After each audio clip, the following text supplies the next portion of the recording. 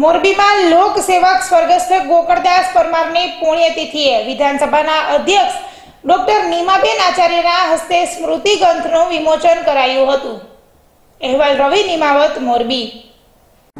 ગોકળદાસ હતા, જે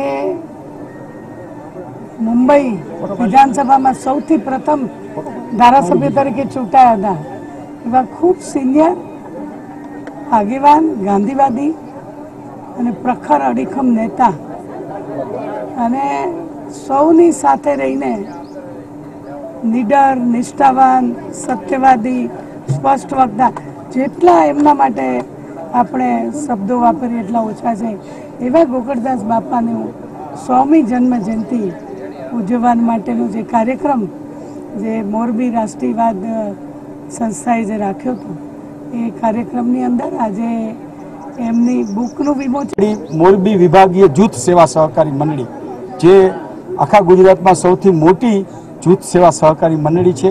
એ જૂથ સેવા સહકારી મંડળી સ્થાપવાનું અને એનું પ્રમુખ પદ પણ કોકળદાસભાઈ પરમાર શોભાવતા હતા અને વલ્લભભાઈ એ મંડળીના સ્થાપના પ્રસંગમાં હાજર હતા. એ મારી નજર સામે તરવારે છે. આવા તો બહુ આયામી બહુ પ્રકલ્પો, એ પછી સહકારી, પંચાયત, શિક્ષણ મોરબીના વિકાસ માટે અનેક ક્ષેત્રે બાપાએ જે જહેમત ઉઠાવી છે એના ભૂતોના ભવિષ્ય જેવી